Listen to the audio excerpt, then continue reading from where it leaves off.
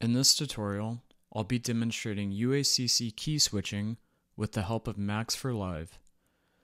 By default, CC32 is hidden in Ableton as it's reserved for program changes.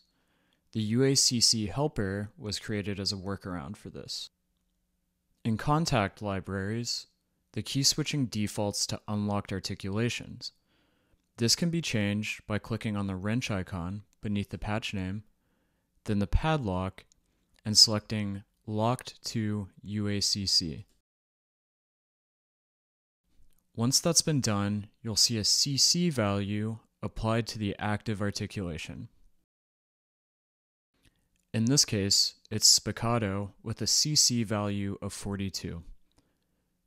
This can be used as a reference guide on how to apply the CC values in the UACC helper. I've already set this up accordingly in mine, but if need be, you can change the articulation value via the pop-out menu.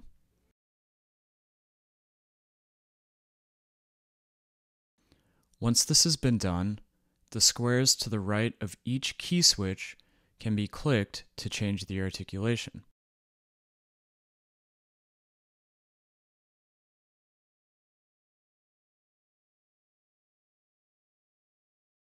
The UACC helper is also fully MIDI mappable.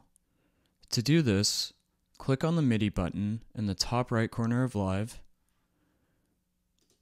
click on the button in the UACC helper that you wish to map. So here I'm mapping CC42 Spiccato to my controller, which in this case is an APC Mini.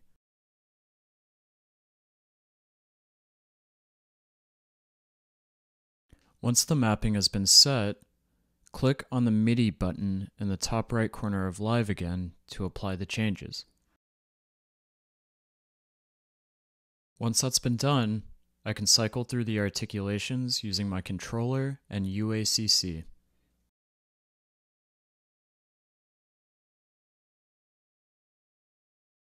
Thanks for watching Spitfire Clips. Let us know if it was too long, too short, too fast, or too slow in the comments down below. Hit like if we answered your question, and subscribe for more clips, tips, tricks, and exclusive Spitfire content.